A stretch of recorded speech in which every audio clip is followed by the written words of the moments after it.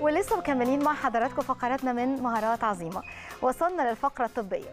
من الأمور المهمة جدا واللي لازم آه، يلتزم بيها أي شخص رياضي سواء بيمارس آه، رياضة معينة أو بيتمرن في الجيم هو إنه يهتم بالتغذية السليمة والعناصر الغذائية اللي بيحتاجها جسمه. قد إيه آه، هي مهمة جدا لبناء عضلاته وجسم قوي. وكمان علشان يحس بالطاقة والنشاط اللي يخليه يقدر يتمرن أو يمارس الرياضة كويس. فإحنا النهارده في فقرتنا هنتكلم أكتر عن التغذية السليمة للرياضيين مع ضيفي اللي مشرفني منورني في الاستوديو دكتور علاء الدين أحمد أخصائي التغذية العلاجية. أهلا وسهلا يا دكتور. أهلا يا شيف عظيم أنا سعيد مواضيع. حضرتك سابقاك. الله يخليك يا رب. آه، عايز بس أقول لك على حاجة. اتفضل. أنا كنت متخيل إن الشيف عظيمة ده برنامج الستات آه. تتفرج عليه. آه. تمام؟ ولكن بعد ما اتفرجت حضرتك حلقتين ثلاثة اكتشفت إن كل أفراد الأسرة لازم يتفرجوا على البرنامج. ليه؟ آه. كمية المعلومات حضرتك بتديها ربنا يخليك أثناء. وأنت بتعملي الأكل لازم المعلومات دي كلها تبقى موجودة عندنا. ربنا يخليك. يعني كفاية كمية المعلومات اللي اديتيها النهارده على الزيتون آه. وعلى زيت الزيتون. ربنا يبارك وعلى. فكرة الرياضيين لازم يبقى أكلهم كله بزيت الزيتون. الله دي حاجة جميلة. الحاجة الثانية. إحنا موجودين في قناة النادي الأهلي وهي مم. قناة رياضية. تمام. وموجودين مع الشيف عظيمة وهو برنامج بيتكلم عن الغذاء والغذاء صحيح. السليم. هنشوف النهارده هل فعلا لازم نتكلم في قناة في في برنامج الشيف عظيمة عن تغذية الرياضيين ولا لأ؟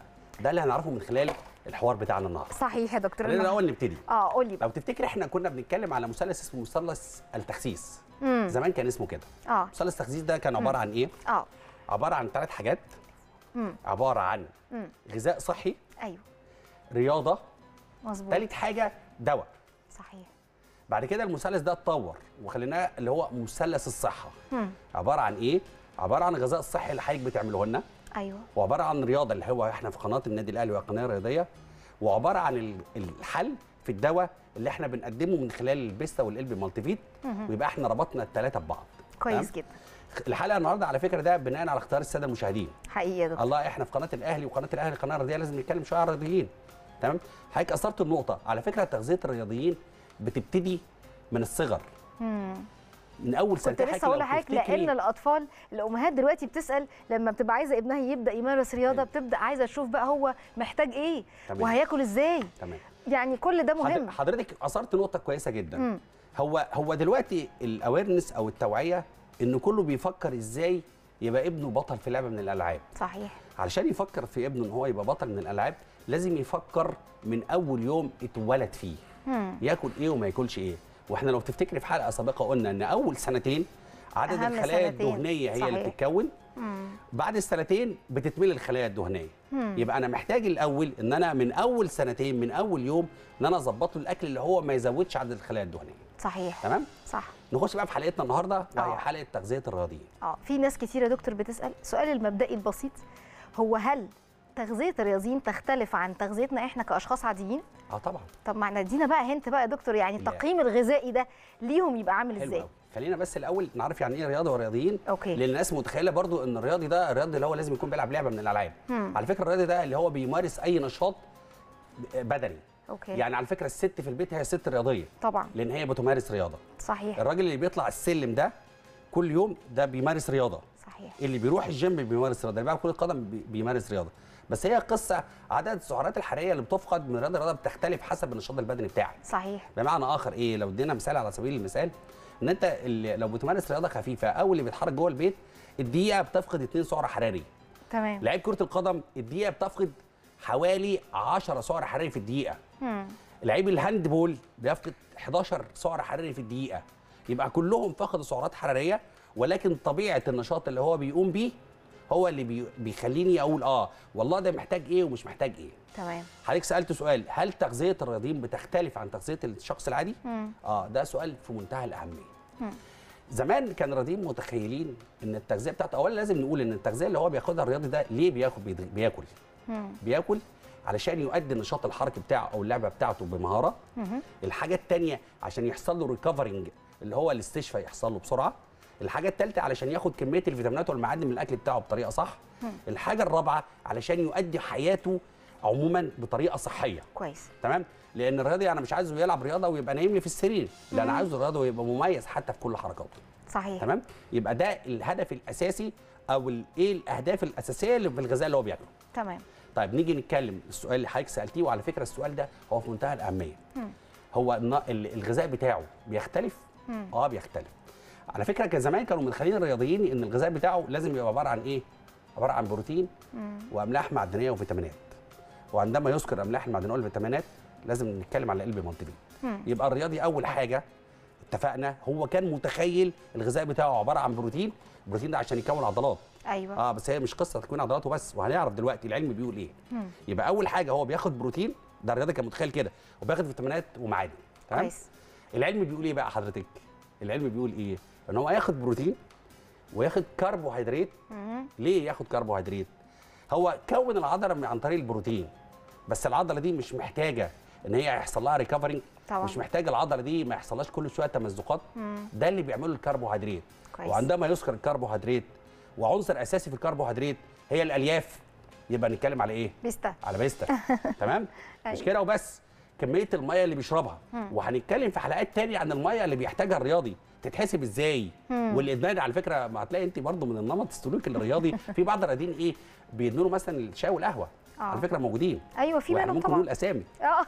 واخد بالك؟ في تاني هتلاقي رياضي ما بي- هو بياكل كتير جدا. أيوه صح. خلي بالك هو بيحرق كتير وبياكل. وعلى فكرة موجودين وموجودين دلوقتي. صحيح. تمام؟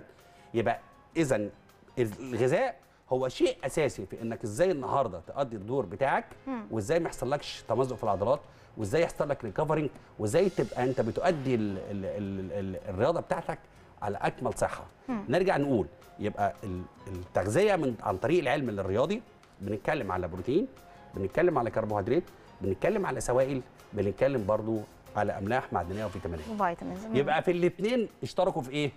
في الأملاح المعدنية والفيتامينات. والفيتامينات. يبقى اذا الرياضي هنا روتين عنده ياخد ال Elp Multivit. ولما نيجي نتكلم عن ال Elp Multivit هل هو فيه أفلاح معد... املاح معدنية ومعادن ولا لا؟ ده اللي هنثبته. طيب. إحنا وإحنا بنتكلم قلنا الكربوهيدرات. تمام؟ الكربوهيدرات دي اتفقنا إن من ضمن الحاجات الكربوهيدرات هي الألياف واتفقنا قبل كده في حلقات سابقة إن بيست هي مصدر أساسي للألياف وبالتبعية الكربوهيدرات تمام. طب مصدر الطاقة بقى للرياضي إيه؟ الطاقة بياخدها عن طريق حاجتين. مم. عن طريق الجلوكوز.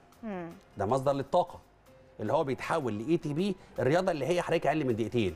يعني الإنسان اللي بيمارس رياضة أقل من دقيقتين هو بيستهلك حاجة اسمها ال ATP ال ATP ده اللي هي جاية من الجلوكوز. وخلي بالك الجلوكوز المصدر جاي منين؟ جاي من النشويات. اللي اتفقنا قبل كده في بيستا بيستا بتحسن من حساسية الانسولين للجلوكوز. أنا عايز الجلوكوز يخش الخلية أيوة. عشان الرياضي يقدر يقوم بالحركة بتاعته. صحيح. صح الكلام؟ صح. والأساس في حركة الرياضي هو العضلات. مم. اللي هو الجزء الثاني من مصادر الطاقة. أيوه. اللي هو الجلايكوجين اللي هو موجود في العضلات عبارة عن بنسبة 2.5 جرام وموجود في ال liver في الكبد بنسبة نص جرام. كويس. يبقى المصدر الثاني من مصادر الطاقة للرياضة هو الجلايكوجين اللي هو بيتحول برضو لحاجة اسمها الجلوكوز وحاجة اسمها حمض اللاكتيك. مم. إيه بقى حمض اللاكتيك ده؟ مش إحنا عندنا الرياضي ساعات بيعاني من الشد العضلي؟ مم. علشان عنده زيادة في حمض اللاكتيك. حمض اللاكتيك ده اتفقنا إن هو بقى إيه جاي أصلا من الجلايكوجين اللي هو أصدر مصدر للطاقة. علشان كده برضو وصلنا مصدر للطاقة يبقى بنتكلم على بيستا لأن أنا عايز الرياضي دوا أحسنه حساسية الأنسولين للجلوكوز. دي حاجة. الحاجة الثانية بقى ودي الأخطر ودي الأهم إن الرياضة أنا مش عايز جسمي يبقى عبارة عن دهون أنا عايز جسمي يبقى عبارة عن عضلات. مم. يبقى أنا محتاج حاجة تحرق الدهون. صحيح. وإحنا لما جينا نتكلم على بيستا قبل كده قلنا إيه؟ بيستا بتعمل ثلاث حاجات بتقلل الشهية مم. تمام؟ الحاجة الثانية إن هي بتقلل من امتصاص الدهون مم. الحاجة الثالثه اللي هي بتزود حرق الدهون. كويس. هو الرياضي ده مش محتاج طاقة؟ طبعا. هياخد الطاقة منين بقى دلوقتي؟ مم. هياخدها من الدهون اللي بيستا بتزود في حرقها. لأن إحنا لو جينا نتكلم على مكونات بيستا عبارة عن إيه؟ مش قلنا عبارة عن شوفان وال psyllium وردة القمح والكروميوم والكروميوم وفيتامين سي. آه. صح؟ لما نيجي نتكلم على الكروميوم الكروميوم بيعمل إيه؟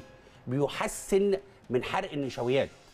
يعني أنا بزود من إفراز الجلوكوز واللي أنا محسن حساسية الأنسولين. يبقى أديت للرياضة هنا طاقة.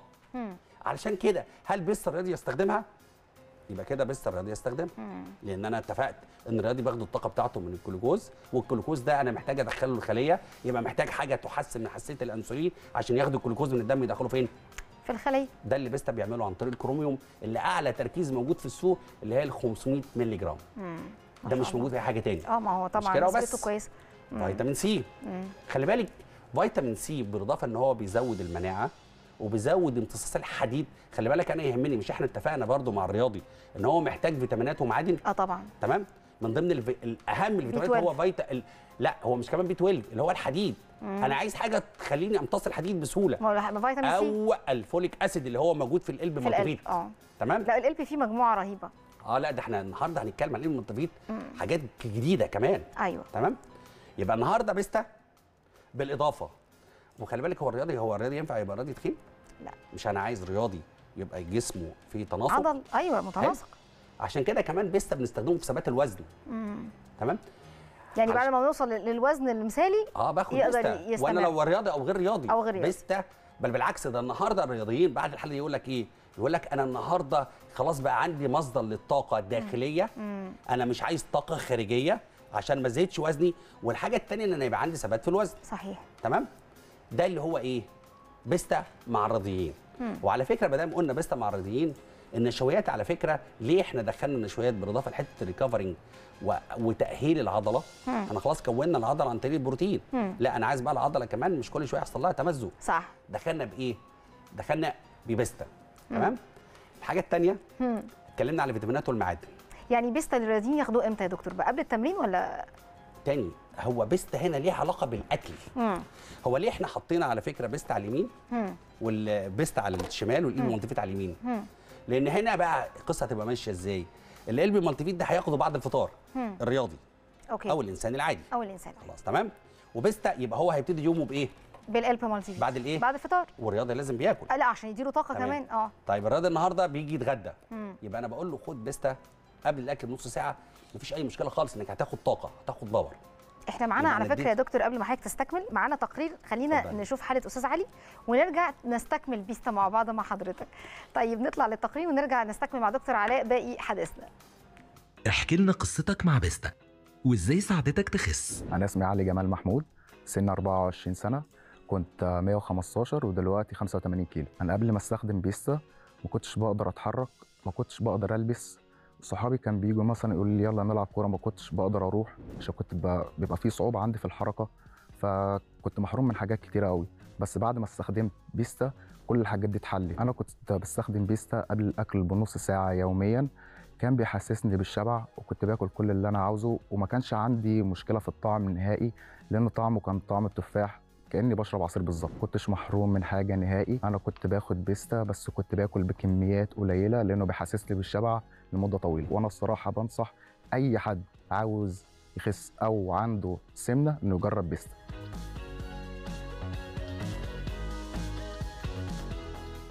طب والله يعني آه، رجع أهو بشكل كويس على الرغم إن أنا مش شايفة إن هو كان وزنه كبير قوي بس شوف إحنا حسيت بعد ما خس إنه بقى فقد وزن كويس وبيقول طعمه حلو. وممكن إنسان طبيعي أو أو رياضي أو غير رياضي يتعامل مع الموضوع بسهولة يا دكتور؟ لا أنا خدت بالي من حاجة تانية خالص. إيه بقى؟ الصو آخر صورة طلعت ليه وهو في صالة جيم على فكرة. آه ما هو بيتمرن. ما هو ده كو- ما هو لازم يتمرن عشان يبقى- ما هو يا دكتور برضه لا، خلينا نقول حاجة معلش. سؤال يعني هو بيستا ياخدها الرياضيين ولا ما ياخدهاش الرياضيين؟ طب ما ياخدها ده هو طبعا. ده تقريبا لا، كده بس. أقول ده حاجة. مصور في صالة جيم. بس أي حد بينزل في الوزن عشان يحافظ على إن جسمه يبقى مشدود لازم يلعب رياضة. آه طبعا.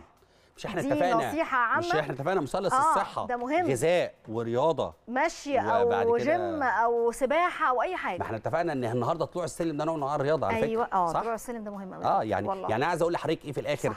إن الصورة هو طالع وهو متصور في صالة جيم عشان هو فرحان بيقول لك مبسوط. أنا باخد بيستا أيوة، وبلعب رياضة بلعب رياضة، آه. يبقى بيستا بتتاخد الرياضيين ولا لأ تمام. عايزين بس نذكر السادة الرياضيين بقى بالجرعة بتاعت بيستا أيوة. باخدوا باكو على كوباية قلنا قبل قبل آه هياخده بنص ساعة الله ينور على حضرتك قوي. تمام؟ هيلاقي اكله اتظبط وهيلاقي كمية النشويات اللي بيحصل لها حرق بقت عالية. كويس. وده أعتقد الرياضي محتاج كده. تمام.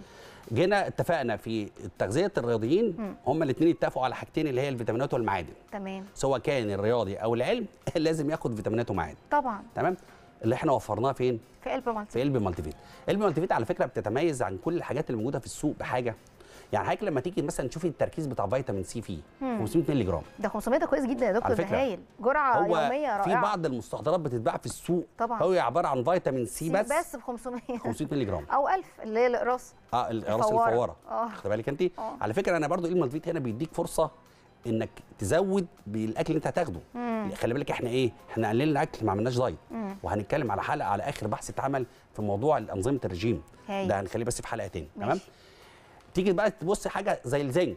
الزنك. آه، هو تمام. أعلى نسبة في الزنك فعلا يا دكتور. الزنك التركيز اللي فيه 23.9 من عشرة. تمام؟ انت هتلاقي في بعض المستحضرات في السوق هو نازل باسم الزنك بس عبارة عن 23.9 من 10 24 آه ويوم زنك ما يبقى بس 25 لوحده. زنك بس. أيوه مظبوط. تيجي حاجة زي ال copper. مم. النحاس. ال copper 3 مللي جرام. آه. هتلاقي نادرا لما تلاقي مجموعة multivitamins فيها الكبر. وكل حاجة من الحاجات اللي إحنا قلناها على سبيل المثال ليها دور مع الرياضيين. أكيد. خلي بالك. هو الزنك ده مش اتفقنا ان هو بيقوي المناعة والرياضي ده مش محتاج تبقى مناعته طبعاً، قوية. طبعاً. هو تخيل انت لو عندك رياضي وكل يوم أصلا عنده دور برد. آه ده ما يبقى- حرام مش هيعرف يتمرن ولا هيعرف يعمل أي مش حاجة. هيدي حاجة. تمام. وعشان كده حتى تلاحظي على الإبن والتفيد مكتوب إيه؟ مصدر للطاقة. هو هو مش الرياضي ده محتاج طاقة؟ عشان كده حضرتك قلت ياخده بعد الفطار. أيوه. بيه هو. ينفع الرياضي يبقى عنده مش قادر مش قادر يتحرك؟ لا طبعا. لا أنا بقول له خد بقى ال Elp Multivit بعد الفطار هيبقى عندك مصدر للطاقة بس مصدر للطاقة من غير ما ارفع لك سعرات حرارية. لأن أنا بديك هنا طاقة في صورة تابلت اللي هو ال Elp Multivit وبالإضافة البيستا اللي هو بيحرق داخلي. كويس. النحاس. هو ينفع الرياضي النهارده هو يبقى عنده مشاكل في الغده الدرقيه؟ لا طبعا. عشان كده على فكرة الرياضي من ضمن. الحاجات اللي بعملها له هو التاريخ المرضي. طبعا. التاريخ الصحي. بتاعه لازم طبعا. أعرف هو عنده حساسية معينة هل حد عنده في العيلة عنده سكر؟ هل حد في العيلة عنده مشاكل في الغدة؟ ده مهم جدا على فكرة. بالإضافة للوزن والطول والمقياس ال- الجسم كل دي من يعني أي لعيب جديد بيخش في أي نادي الحاجات دي بيزك بتتعمل له. تمام. تمام؟ فالنهارده الكبر بيحسن من كفاءة الغدة الدرقية. تمام؟ بيقلل من علامات الشيخوخه على المريض على, على الإنسان العادي. صحيح. هو ينفع النهارده أنا ليه لعيب كده ومثلا تخيل أنت لعيب بيلعب كورة بس شعر أبيض كله. على فكرة أنت كمشاهد هيجي لك انطباع الله آه. ده ده كبير في السن. يبقى أنا لما بقول له خد على فكرة الابن مالتيفيت بقى لو أنت النهارده بتفكر في ابنك يمارس رياضة اديهوله أول ما يقدر يعرف يبلع. ليه؟ أنت بتتكلم على ال long term طب هو ينفع رياضي يبقى عنده مشاكل في العظم بتاعه؟ لا طبعا. عشان كده في هنا إيه؟ في كالسيوم. الكالسيوم والكالسيوم اتفقنا قبل كده هو حاجة تراكمية. أيوه. يعني إيه؟ بس يعني نسبته هنا مش ضار يا دكتور على على المدى البعيد. لا لا خالص. ما لا بيترسبش لا لا لا وما لا لا فيهوش لا. خطورة ولا خالص. ولا حاجة. إحنا بندي على فكرة ال Elp ال Multivit ده بقول له خلي بالك أنا بكون لك جسمك صح. بصورة مبسطة. أيوه. تمام؟ بمجموعة فيتامينات ومعادن أنت محتاجها. صحيح. هو ينفع النهارده رياضي يبقى عنده أنيميا؟ لا. على فكرة من ضمن الحاجات اللي التحاليل اللي بتتعمل للرياضي تحليل الدم. فأنا بقول له لا ده أنا خلي بالك مديك فيتامين C ومديك folic acid. folic acid مصدر للحديد وفيتامين C بيزود من امتصاص الحديد بالإضافة لدور إن هو مصدر للطاقة. عشان كده إحنا اتفقنا على ال Elp Multivit بالنسبة للرياضيين هو مصدر للطاقة. صحيح. أنا عايز أقول إيه؟ إذا كان الرياضي هياخد Elp Multivit هل الإنسان العادي ما ياخدش Elp Multivit. إذا كان الرياضي هياخد بيستا صحيح. هل الإنسان العادي ما ياخدش قلب آه، بيستا؟ حتى لو للحفاظ على وزنه بس طبعاً. مش عشان يخس. آه طبعا. ما إحنا آه، اتفقنا. آه. أنا النهارده هنا أنا الناس اللي بتثبت وزن سواء كان رياضي أو غير رياضي لا ياخد بيستا. تمام. طيب يا دكتور يعني إحنا الأطفال كده قلنا من سن ممكن يبدأوا بيه. طب أمر أصحاب الأمراض المزمنة سكر ضغط كوليسترول أمان بيستا. قول لنا. برضو عشان أكيد هي- هيتساءلوا ممكن يكون حد لسه منضم لينا في الفقرة حلو. دي بيشوف حضرتك ما شافش جميع الحلقات اللي قبل الأمراض كده المزمنة آه. تاخد بيستا. تمام. ما عدا آه. هو مش الإنسان اللي هو عنده مشاكل في الكلى فشل كلوي. آه عشان حتة الكروموسوم نظام نظام تاني بقى تمام. يا دكتور. إنما مريض سكر آه. ده هو أصلا بيستا متعمل له مم. مريض ضغط هو بيستا م- معمل له كوليسترول برضو الكوليسترول. هو سواء كان Elp Multivit أو بيستا أو بيستا آه. تمام. نرجع تاني. إذا كان هو الرياضي بياخد يبقى الأمراض المزمنة هتاخد. تمام. ايا كان نوع المرض المزمن إيه. طب قول لنا نحصل لو على الكورس زي ما حضرتك مقدم لنا دلوقتي ال Elp Multivit والبيستا يا دكتور. هو أرقام التليفونات موجودة على الشاشة أهي. آه. برضو كلمة السر يتصلوا يقولوا شيف عظيم هيجي لهم على طول والميزة هنا إن حضرتك هو موجود من أسوان لحد مرسى مطروح جميع مغطي جميع المحافظات جميع المحافظات تمام. قدامك حل من الاثنين يا بتتصل بال call center. وبيبعتوا لك عن طريق شركة الشحن. يا إما بيقولوا لك إيه أقرب صيدليات. موجود فيها تمام وعلى فكرة أنا حصل حوار بينه وبين احد الناس يوم الجمعة اللي فاتت موجود في الصيدليات الكبرى بيستا أيوه يعني أيوه أنا شفت أنا أنا. جبت العبوة الثانية أنا أيوة. جاي خدت واحدة هدية أيوة. مش اشرب من, من أكبر وخ- وجبت الصيدليات الثانية من الصيدلية من أكبر الس... أنا مبسوط خلي بالك عن حاجة آه. كمان إن كل حاجة بتاخدي بيستا و... آه، ما مهم يا دكتور أو والله. بجد والله بقى السوشيال ستايل بقى من أحلى حاجة فيه إنه أمان أنا مرتاحة وأنا. أنا مش قلقانة وده مهم لحالتي النفسية جدا وكل واحد فينا يعني. ربنا يخليك يا. إحنا عندنا أسئلة مشاهدين اسمح لي أقولها مع حضرتك يا. عندي دنيا وائل بتقول إزاي أعرف إذا كان حرق ضعيف ولا لأ. هي هي يعني هل في تحاليل ممكن تبين ده هايل آه آه، أهم ثلاث تحاليل لازم يتعملوا أيوه تعمل تحليل الغده الدرقيه؟ تمام. ده مهم جدا اللي هو حاجة اسمها ال T3 وال T4 وال TSH. أيوه. تعمل حاجة اسمها مقاومه الانسولين. مهم. وده تحليل بيتعمل في المعمل.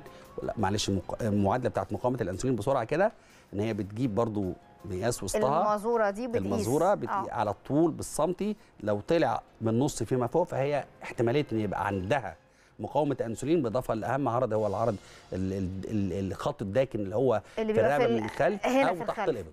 آه. يبقى ده لازم تروح تعمل مقاومة الانسولين. الحاجة الثالثه بقى اللي منتشرة جدا فيتامين دي. آه لو نقص فيتامين. دي خلينا إحنا في مرة ممكن نعمل حلقة عن عن نقص. أهمية فيتامين D. تمام. ودور برضو بيستا وال Elp Multivit بس في هو ما شاء الله بيبقى. مقدم آه، Elp Multivit مقدم معظم ال vitamins. ما عدا إحنا هنحتاج بره ممكن ناخد دال أو الأوميجا 3 لو حسب آه على الناس فكرة على فكرة ده اللي يستحسن آه. أخده من المصادر الطبيعية. آه. يعني الشمس بتاعت الصبح الشمس بتاعت بالليل. آخد ال- الاوميجا اللي هي الأسماك عموما. التعرض للشمس آه ده. الأسماك إحنا عاملين سمك النهارده. حضراتكم اعملوا سمك في الصيف بقى كتير قد ما تقدروا. تمام. فهي التحاليل أهم. ثلاث تحاليل. آه. هتعمل مقاومة الأنسولين والتحليل فيتامين. دي وتحليل الغده وتحليل ده مهم. جدا. كويس جدا. طيب وخلي بالك برضو. آه. لو أي حصل أي حاجة في التحليل دي مش مظبوطة بنلجأ لحاجتين. العلاج عن عن طريق الطبيب المتخصص أيوه. والغذاء. فهمت حضرتك. طيب آه، شاهندة كريم كنت بسمع كتير عن نظام حساب السعرات الحرارية لانقاص الوزن فعاوزه أعرف إزاي أحسب السعرات الحرارية اللي جسمي محتاجها في اليوم؟ حلو. معادلة بسيطة جدا. آه سريعا بقى يا دكتور. حضرتك ال- الوزن. أيوه. وزنك؟ وزنك آه. 24 أيوه. في حسب النشاط اللي انت بتعمليه لو انت ما بتعمليش نشاط حركي خالص بضرب 1.3 من 10 مم. يبقى الرقم اللي طالع ده انت احتياجاتك السعرات الحرارية عشان تحافظي على الوزن يبقى لو أيوة، عايزة. تخسي. لو عايزة تخسي يبقى لازم السعرات الحرارية اللي داخلة تبقى إيه أقل من اللي مم. تمام فهمت لو بتمارس نشاط متوسط. ال 24 في 1.4 من 10 في الوزن صح. لو بتمارس نشاط رياضي عنيف ال 24 في وزنها في 1.5 واحد من 10 وخمسة من عشرة. صح كده تمام يا دكتور تسلم ميرسي طيب. منة الله عادل أنا بعاني من مقاومة الإنسولين أهي فكانت عاوزة أعرف أنسب دايت إيه علشان أخس بصي أنا أنا السؤال ده لو كنت سألت أول امبارح. كنت هقول لك النظام إيه مم. ولكن بعد البحث اللي قريته امبارح. أنا هبقى عامل حلقة إحنا مش قصة diet مم. على فكرة العالم دلوقتي مش رايح على قصة diet خالص diet خالص صح ولكن إحنا بنتكلم على ثقافة غذائية. ولا تفتكر أنا الأسبوع اللي فات قلت من غير أقل حاجة يا جماعة إحنا بنتكلم على ثقافة. غذائية صح. وليس نظام غذائي هنتكلم لها في حلقة من الحلقات okay مخصوص عن الثقافة الغذائية في حتة ال- هرد عليك. يا منة الله إن شاء الله ودكتور هيقول لك. بالظبط تعملي إيه من عينينا طبعا طبعا يا دكتور بجد ال- الوقت يعني بينتهي مع حضرتك بسرعة وبنستفيد جدا من نقط مهمة جدا بتنور لناس كتير قوي عارف أنا ليه شفتك يعني بالعين دي عشان أنا لما كنت باخد يعني بذاكر وبروح المحاضرات آه، فكنت بقعد أرفع إيدي بحس إن أنا طفلة بقعد أرفع إيدي علشان أسأل في حاجات فالدكتور اللي بيشرح لو كان حد مش عارفه أفهم منه المعلومة بطلع كأني حاسة إني عندي هم على قلبي تمام. لأن أنا هعرفها منين؟ فأنا بشكرك علشان لا بساطة اولا اولا الأسلوب. دي ثقة ثقة اشكرك على الأسلوب الثقة. بجد. أصل إحنا خلي بالك إحنا بنخاطب جمهور. والثقافة الغذائية إحنا نفتقدها صحيح. فلازم نوصل لهم المعلومة ببساطة عشان يبقى عنده الثقافه المعلومة لو راحت مكلكعة هيبقى هو هيفصل مننا. وبشكر كل الدكاترة الصيادلة اللي كانوا معايا. حقيقة دكتور معظمهم أنا الوحيدة اللي كنت يعني فيلد تاني خالص مختلف وهم كلهم دكاترة صيادلة. فبرضه ببعت لهم تحية للثقافة اللي هم عايزين يعني ياخدوها من التغذية. ليه؟ آه. علشان نوصلها لكل الناس. نوصلها لكل الناس. وده على فكرة من ضمن. الاهداف بتاعتنا في برنامج مهارات مهارات عظيم. بشكر حضراتكم جدا مشاهدينا الكرام. اسمحوا لي اشكر ضيفي اللي نورني وشرفني النهارده دكتور علاء الدين أحمد أخصائي التغذية العلاجية. شكرا لحضرتك نورتنا. وشرفتنا. تحية لحضراتكم متابعينا الكرام آه، ومشاهدي قناة الأهلي في كل مكان. تحية لحضراتكم وأتمنى من الله ولا يكتر على الله. أشوف حضراتكم من هنا الحلقة جديدة. على ألف خير وصحة وسلامة وسعادة وسلام عليكم.